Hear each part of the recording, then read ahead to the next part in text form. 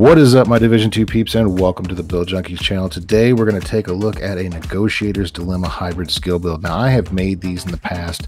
They have been good. They have not been great. They are always a niche build, in my opinion. You know, good for heroic, both in a group and solo. But at the same time, they were never that, that hard-hitting build that I wanted. Well, we are going to change that today. This build smacks hard. It puts the hurt down on the NPCs in a quick and orderly fashion. You can burn through control points on heroic, no problem.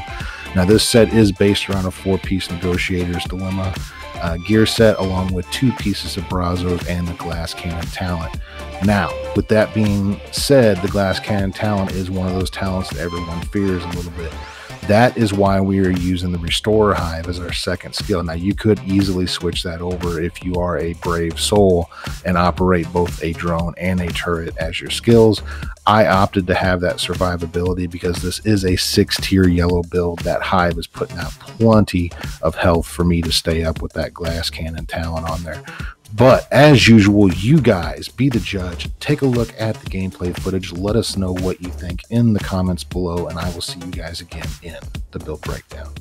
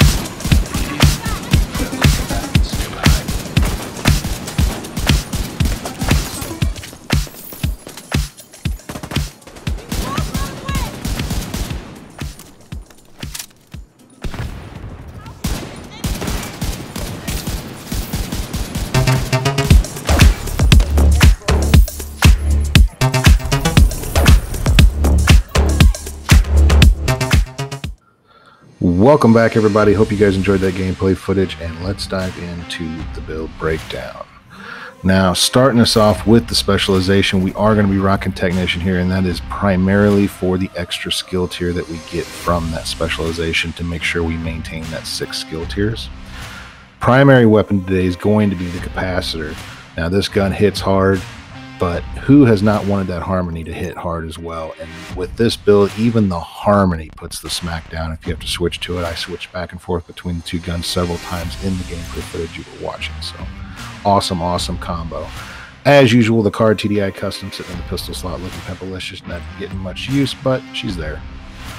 Our first gear piece is going to be the mask. It's going to be a piece of negotiators re-rolled with a skill tier on the primary, crit hit damage on the secondary, and a crit hit damage mod. Up next is going to be the piece of Brazos with weapon on the core, headshot, and crit on the secondary with a crit hit chance mod and glass cannon as the talent. Picaro's holsters up next, skill tier with a crit hit damage secondary and that extra weapon damage core. Next is the knee pads, skill tier on the primary, crit hit damage on the secondary. Gloves are up next, weapon damage on the core, crit hit damage on the secondary. And last but not least, the backpack rounding the negotiators off with a skill tier, crit hit chance on the secondary, and a crit hit damage mod. Skills we're running today is the assault turret, and it's rocking at a 6 yellow tier, so it's putting down plenty of damage, especially with the procs from the capacitor or the harmony. And the restorer hive as the secondary. Like I said, you could switch that out to the drone if you wanted to, but I like the hive, gave me plenty of survivability, and was well healing. Well, it was healing me well, put it that way. We'll take a look at the general stats.